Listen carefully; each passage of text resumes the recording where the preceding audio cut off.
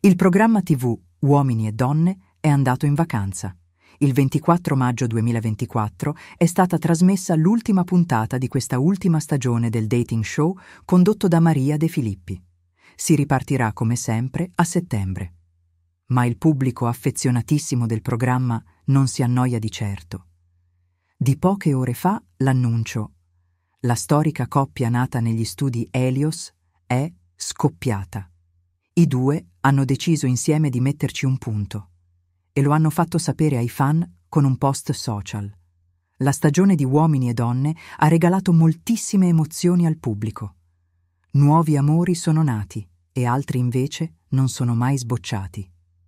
È andata decisamente male a Ida Platano. Divisa tra Mario Cusitore e Pierpaolo Siano, alla fine ha deciso di abbandonare il trono senza fare una scelta. Pioggia di petali invece per Daniele Paudice e Gaia Gigli, Cristian Forti e Valentina Pesaresi, Brando e Frichian e Raffaella Squotto. Senza parlare di quello che è successo nel parterre tra dame e cavalieri. Alessio Corvino e Lavinia Mauro si sono lasciati. I due erano usciti insieme dal programma di Maria De Filippi circa un anno fa.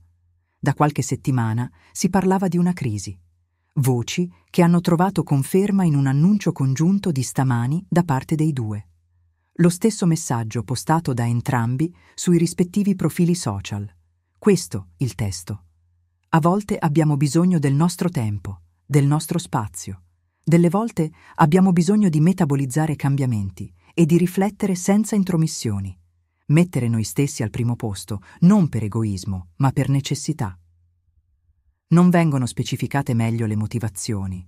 Si parla di un periodo complesso. Alessio e Lavinia quindi hanno deciso di proseguire ognuno per la propria strada. Questo però non cambia il bene e la stima che c'è tra di noi.